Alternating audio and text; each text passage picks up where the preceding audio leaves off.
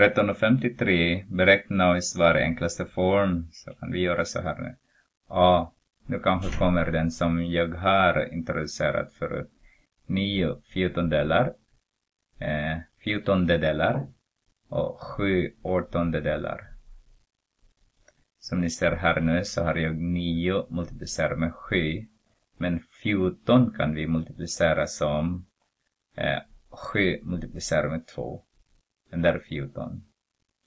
Därför den här är utan miniräknare så gör ni på det här sättet. 18 kan vi också skriva 9 multiplicerat med 2.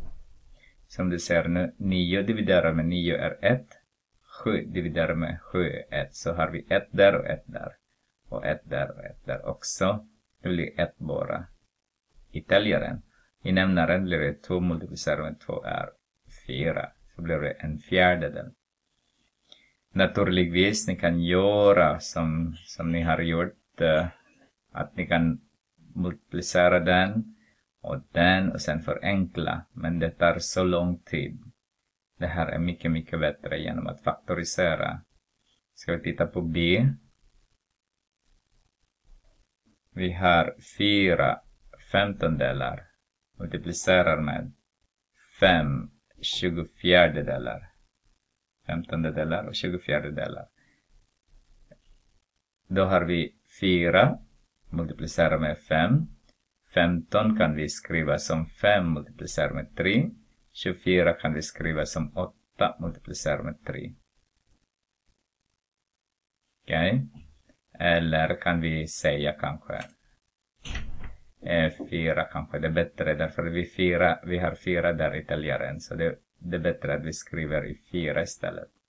Vad blir det då? Det är 6 multiplicerat med 4. Det är också 24. Så det är bättre att göra det. Så att den här blir 1. Har jag 1 där, har jag 1 där. Den här blir 1, så har jag 1 där och 1 där. Så har jag 1 bara i täljaren och 18 i ämnaren. Jag behövde inte den här. C. 3 multiplicerar med 1 21 delar. En 21 del. del inte delar, 21 del.